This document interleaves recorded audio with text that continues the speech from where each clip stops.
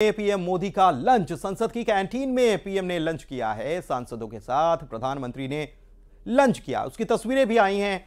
देखिए, संसद भवन की कैंटीन जो है, यहाँ पर प्रधानमंत्री पहुँचे और अपनी पार्टी के सांसद जो हैं, उनके साथ उन्होंने यहाँ पर लंच किया है। संसद भवन में पीएम मोदी ने लंच किया है और कैंटीन पहुँचे थे और सांसदों के साथ उन्होंने लंच किया।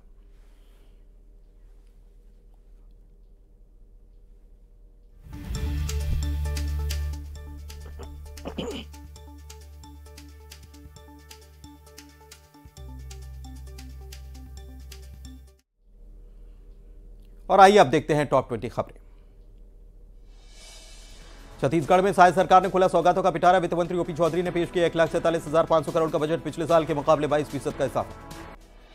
गाँव गरीब किसान युवा महिलाओं पर सहाय सरकार का फोकस। कृषि विकास के लिए तेरह हज़ार चार सौ अड़तीस करोड़। भूमि कृषि मजदूरों के लिए पाँच सौ करोड़ की घोषणा। छत्तीसगढ़ के पहले डिजिटल बजट में जनता को बड़ी राहत। 400 यूनिट तक बिजली बिल होगा। आधा बजट में नहीं लाया गया। कोई नया टैक्स पुरानी दरों में भी कोई बदलाव नहीं। अमृतकाल की नींव और ग्रेट सीजी की थीम के बजट में राम राज्य की परिकल्पना, पाँच शक्तिपीठों के विकास का ऐलान, रामलला दर्शन योजना के लिए 35 करोड़ का प्रावधान।